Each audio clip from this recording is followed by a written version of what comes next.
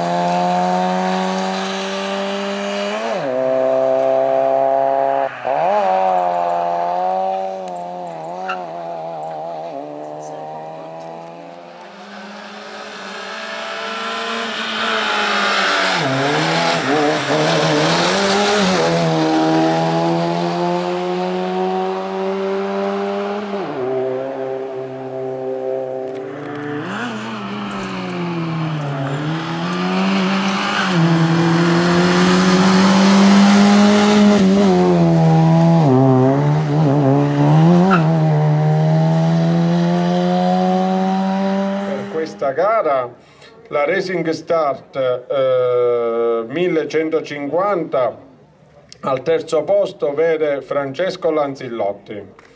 Al, al secondo posto vede Antonio Lipari.